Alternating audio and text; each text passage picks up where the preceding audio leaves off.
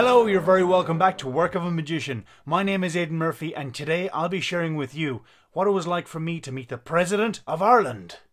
But before all that, I need you to go hit the subscribe button because it's free and you'd be helping me out. I've been lucky enough to have met the President of Ireland. Yes, Michael D. Higgins.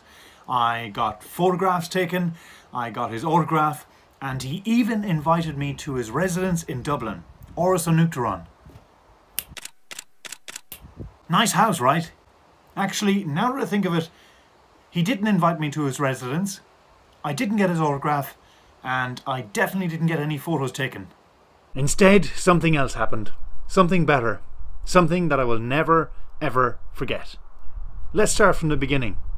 I was booked to perform at a wedding, and upon arrival, there was security everywhere. Everywhere. Then I hear the president is in town, and in the same hotel.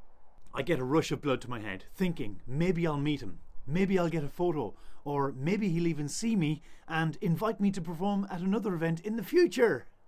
So the guests arrive into the hotel and it's time for me to start work. Wait a second, a magician at a wedding? What? How? And why would you even want a magician at your wedding in the first place? I'll give you a little insight, shall I?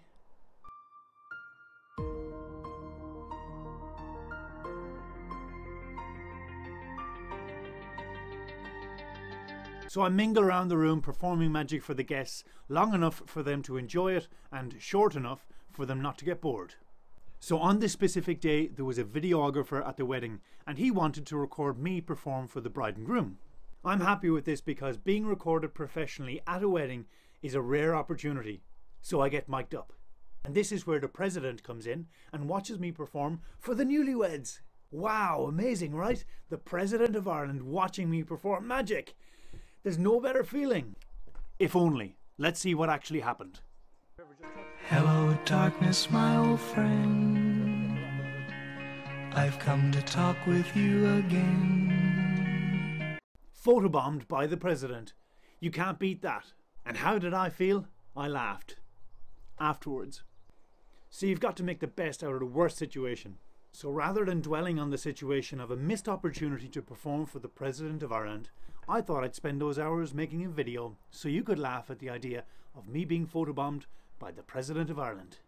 And that concludes today's episode of Work of a Magician. I hope you enjoyed it. Let me know in the comments your thoughts. And I have a question for you. Magic isn't a real job though. Is it?